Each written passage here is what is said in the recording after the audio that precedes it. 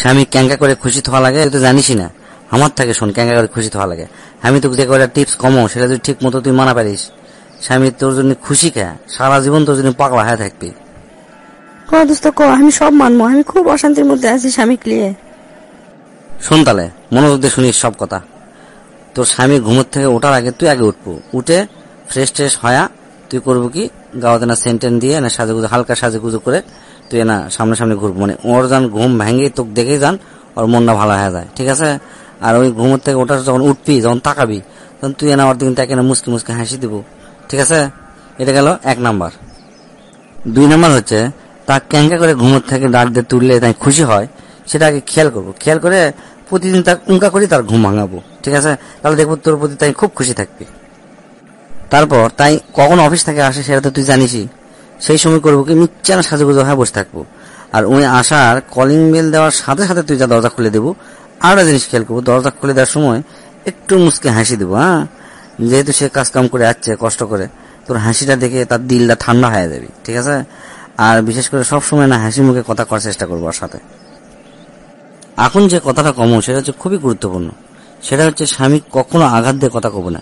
আঘাত কথা করে মনে করল তো সর্বনাশ ডাকে এলো। কিসের জন্য? পরবর্তীতে দেখব কোনো গুরুত্বপূর্ণ কথা তোর সাথে কবি না। করবি কি অন্য যা মানুষ কবি বারকার মানুষ কথা কবি, কিন্তু তোর সাথে শেয়ার করবি না।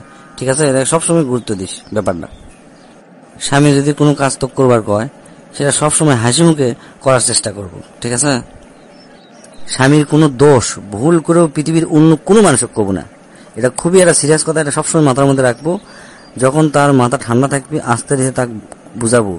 যে তুমি এই কাজটা আসলে ভুল করছিলা, এটা এরকম নয়, এরকম হবে। তখন দেখব তোর স্বামী ঠিকই শুধরে নিবি, ঠিক আছে? স্বামীর অনুমতি ছাড়া ভুলেও কাউকে কোনো টাকা পয়সা হাওলাত দিব না বা কোনো জিনিসপত্র কাউকে হাওলাত দিব না, এটা কিন্তু জায়েজ নাই।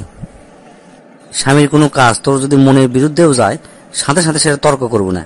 পরে ঠান্ডা মাথায় আস্তে ধীরে আলোচনা করব, দেখব সব ঠিক হয়ে যাবে।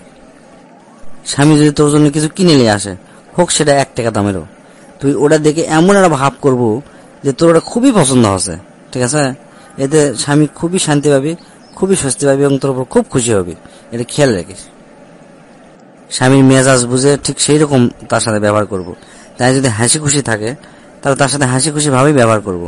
আবার তার যদি মন খারাপ থাকে, তাহলে তুইও মন খারাপ করব, তার মনের কষ্টটা বোঝার চেষ্টা করব। তার সাথে সেটা শেয়ার করার চেষ্টা করব। ভুলেও এরকম করব না যে তাই কষ্টে আছে তুই এমন ভাব লিচ্ছ যে তার কষ্টের তুই কোনো মূল্যায়নই করিচ্ছ না। তাহলে স্বামী খুবই কষ্ট পায়। এই ব্যাপারটা তুই অবশ্যই অবশ্যই খেয়াল রাখব। আরেকটা জিনিস তুই খুব খেয়াল করব, বেটি ছোটরা কিন্তু খুব লোভী হয়। টাকা পয়সার প্রতি খুব লোভ থাকে। এই জিনিসটা তুই সবসময় খেয়াল করব। কোনো টাকা পয়সার প্রতি লোভ করব না, আর তোকে তো লোভ করার দরকারই নাই। তোরা বিয়ার আগে বাপ মায়ের কাছে থাকিস, বাপ মা তোকে দায়িত্ব নেয়। আর বিয়ার পর স্বামীরা দায়িত্ব নেয়। তাহলে তোকে কোনো টাকা পয়সা চিন্তা আছে? স্বামী হোক যদি ভালো রাখতে পারিস, টাকা পয়সা তোকে চিন্তাই করা লাগবে না। আর যদি স্বামী যদি কোনো টাকা পয়সা তোকে দেয়, তাহলে সেটা হান্ড্রেড পার্সেন্ট হিসাব দেওয়ার চেষ্টা করব। তাহলে দেখব যে তোর উপর চরমভাবে বিশ্বাস স্থাপন করবি এবং দেখব সমস্ত টাকা পয়সা তোর উপরে দায়িত্ব দিবে এবং তোর কাছে থবি। বুঝছ? এখন যে কথাটা কম, সেটা আরও গুরুত্বপূর্ণ। তুই জিনকে তোর বাপ মা খুব ভালোবাসিস, তাই সিংকে তার বাপ মা খুব ভালোবাসে। একটা জিনিস খেয়াল রাখব, ভুলেও তোর শ্বশুর শাশুড়ির দোষ তোর স্বামী কবু না, ঠিক আছে? আর এমন একটা ভাব লিব, প্রয়োজনে অভিনয় করব, যে তোর স্বামীর থেকে তোর শ্বশুর শাশুড়ি তুই বেশি ভালোবাসিস। তাহলে দেখব তোর স্বামী তোর পায়ের নিচে পড়ে থাকবে। তোর স্বামী যদি তার বাপ মা কোনো টাকা পয়সা দেয়, তাহলে এতে তুই মন খারাপ করব না বরং খুশি হব। তাহলে দেখব স্বামী তোর উপর আর বেশি খুশি হবে। এই যে কয়টা কথা কোনো, এলে যদি ঠিক মতো শুনতে পারিস।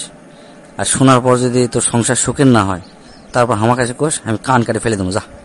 তোকে অনেক অনেক ধন্যবাদ এত সুন্দর সুন্দর কথা কওয়ার জন্য। আমি কাল থেকে এগুলো শোনার চেষ্টা করব।